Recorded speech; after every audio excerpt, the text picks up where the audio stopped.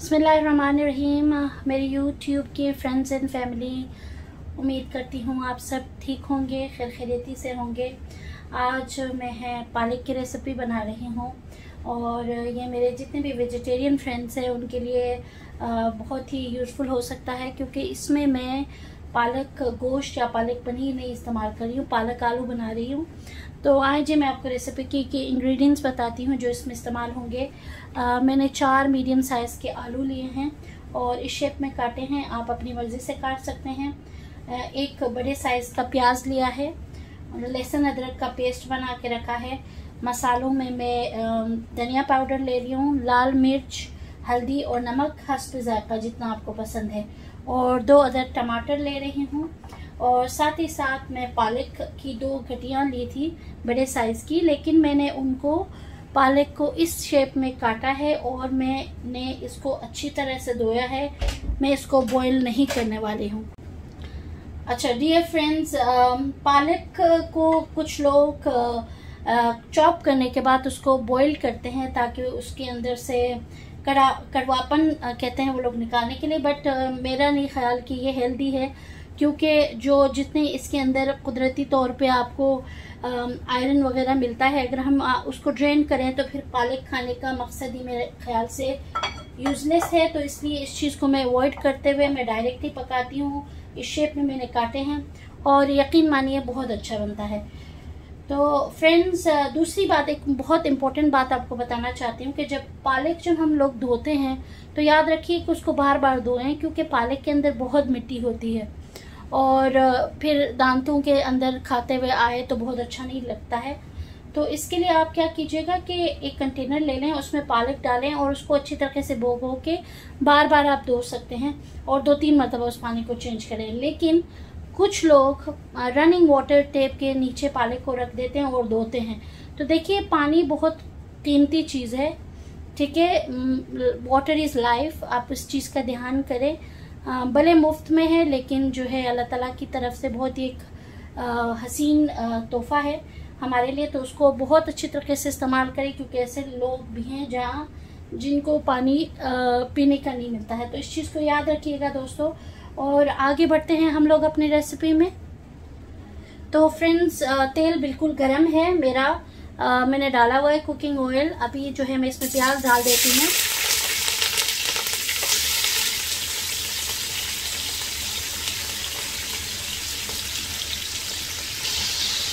और प्याज को थोड़ी देर हम लोग इसी तरह थोड़ा गोल्डन ब्राउन करेंगे और फिर उसके साथ साथ बाकी चीज़ें मतलब लहसुन अदरक डालेंगे फिर मैं टमाटर डालूँगी मसाले डालूँगी और पालक डालूँगी फिर आलू डालूँगी।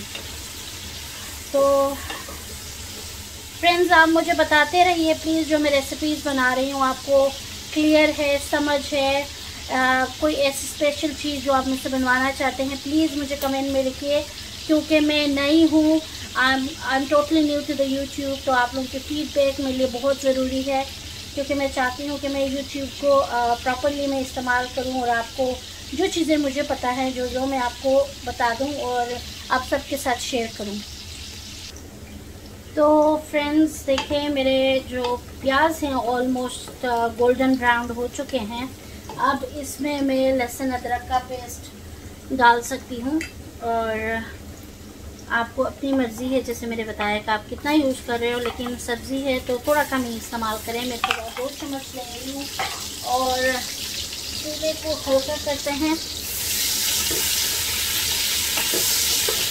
अभी आ रही है खुशबू तो थोड़ा सा इसको खुशबू आने दीजिए क्योंकि तो जो है लहसुन अदरक की खुशबू से खाने में बहुत ज़ायका आता है।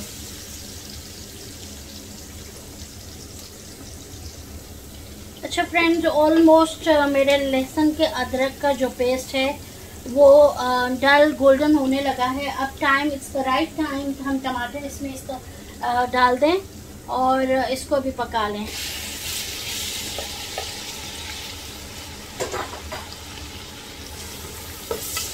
और देखिए, मैंने चूल्हा इसको फुल तेज़ किया है, ताकि जो है ये इस तरह ज़रा जल्दी पके जब सब्ज़ी गलने लगती है उस वक्त हम चूल्हे को हल्का कर सकते हैं।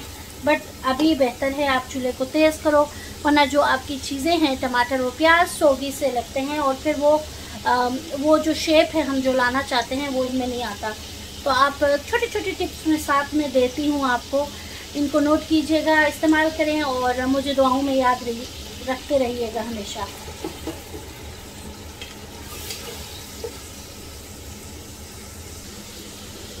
तो फ्रेंड्स, अभी टमाटर ऑलमोस्ट मेरे जो है हो रहे हैं, पक रहे हैं और जो है वो तेल अपने से मिक्स कर रहे हैं। तो इस वक्त में जो है, जो मसाले हैं मेरे, मैं, मैंने आपको पहले भी बताया था, मैंने एक चम्मच जो है लाल मिर्च इस्तेमाल किया है। नमक आप हंस जायका ले लें, धनिया पाउडर और हल्दी है। ये तीन मसाले जो है मेरी सब्ज़ी में जा रहे हैं। इसके अलावा कोई सब्ज़ी में और मसाला नहीं जाता है।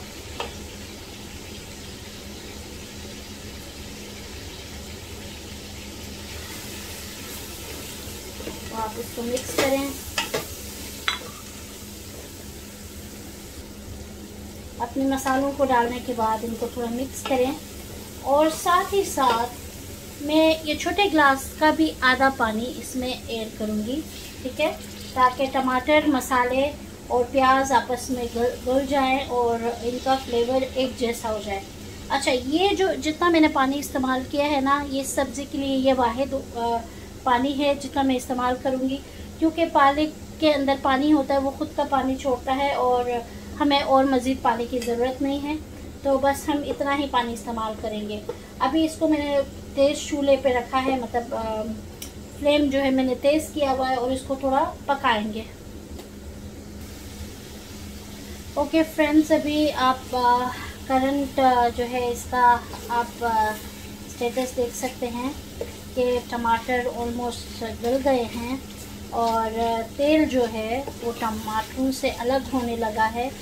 इसका मतलब है हम इसमें अपना जो है नेक्स्ट है जो सब्ज़ी है यानी पालक है वो ऐड कर सकते हैं।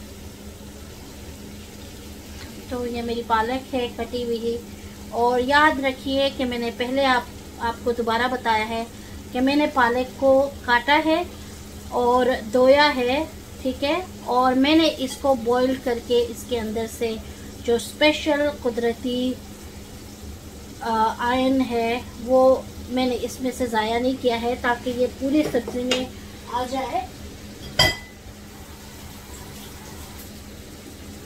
और हमें पता चलेगा हम कोई चीज़ भी खा रहे हैं जो हमारे लिए हेल्थ के वाइज अच्छी है। जैसे आपकी हेल्थ अच्छी होती है। वैसे तो हम सबको पता है कि लीफी वेजिटेबल्स बहुत अच्छे हैं, होते हैं, पर हम उनको अपने तरीके से पकाते हैं। लेकिन कोशिश कीजिए कि ज़्यादा से ज़्यादा इसको नेचुरल रखें और जब आप पकाएँ तो जिस तरह का पालक है, जो आपको पसंद है वैसा भी बने और इसके अंदर जो जो, जिस वजह से हम खा रहे हैं कि उसकी जो बात भी रहे। ओके फ्रेंड्स अभी जो है पालक, थोड़ा जो है गल रहा है। मैंने थोड़ा पालक को पहले डाला था। अब मैं इसमें ये ये कलर है, इस वक्त इसका आप देख सकते हैं। अब जो है मैं आलू ऐड कर रही हूँ। और मैंने आपको बताया था कि मैंने चार से पाँच आलू लिए हैं। अब आलू डालने के बाद इसको इसी तरह तेज़ आँच पे मैं पाँच मिनट रखूँगी, उसके बाद हल्के आँच पे रखूँगी और फिर फिर आप सबको इसका आखिरी रिज़ल्ट दिखाती हूँ। बहुत इजी है, बहुत आसान है, बहुत क्विक है।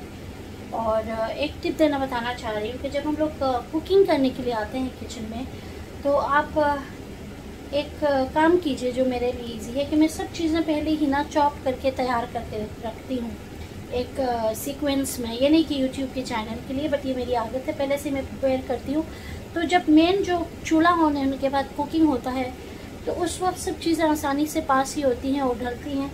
तो इस तरह से आपका जो है रेसिपी आपको बनाने में ईजियर लगता है और थोड़ा थकावट भी नहीं होता। क्योंकि ज़ाहिर बात है, बहुत सारे हम में से, जैसे कि मैं हूँ, हम लोग वर्किंग लोग हैं। तो ऑफ़िस के बाद अगर लाइफ इस तरह आसान हो तो बहुत अच्छा लगता है। फ्रेंड्स अभी मैं इसको ढकूँगी हल्का आँच रखूँगी और फिर उसके बाद फाइनल टच आपको दिखाती हूँ और बताती हूँ कि मेरी रेसिपी कैसी बनी है। तो डियर फ्रेंड्स अभी मैं फाइनल आपको दिखा रही हूँ कि क्या सूरत हाल है। आप देख सकते हो। ये जो है इस कंडीशन में है और बिल्कुल पालक तैयार है और अभी मैं इसमें सर्विंग में डाल के आपको दिखाती हूँ और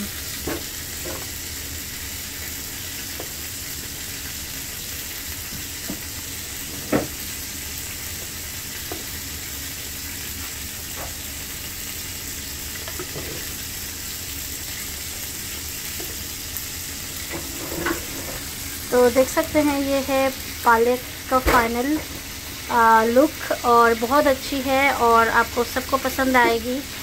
अभी जब भी मैं रेसिपी अपलोड करूँगी तो मेरी फ्रेंड है आ, यास्मीन वो मुझे ये कहती है कि रात में मैं तुम्हारी वीडियोस देखती हूँ और मुझे भूख लगती है। तो यास्मीन तुझे मुझे बताना कि मेरी रेसिपी कैसी लगी और आपको भूख लगी क्या हुआ आपने कुछ रात में दोबारा मंचिंग किया? प्लीज़ मुझे बताइएगा।